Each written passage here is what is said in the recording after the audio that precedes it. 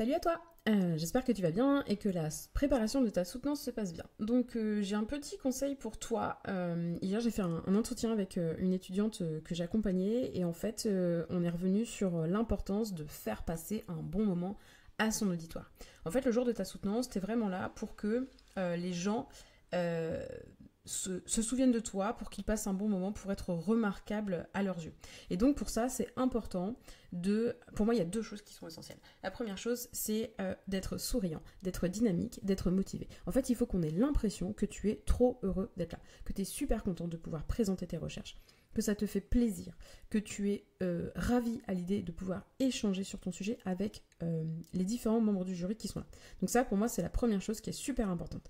Et la deuxième chose qui est importante, c'est pendant ton oral, tu penses à regarder de manière assez large l'ensemble des personnes qui sont présentes à ta soutenance.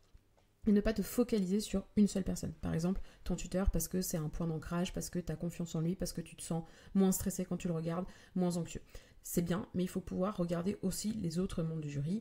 Et par exemple, si ton directeur n'a pas forcément été euh, présent pour toi, il faut quand même euh, le regarder pour qu'il te sente considéré. Donc moi, je t'invite vraiment à faire des tours assez larges de la, de la salle.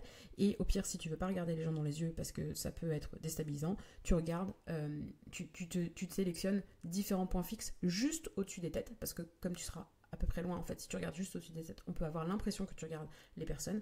Donc euh, ça c'est super important. Donc euh, voilà, pour faire passer un bon moment à ton auditoire, pour moi, il faut que tu sois souriant, dynamique, qu'on ait l'impression que tu sois là et que tu montres aux gens, que tu témoignes aux gens de la considération en les regardant de manière assez régulière.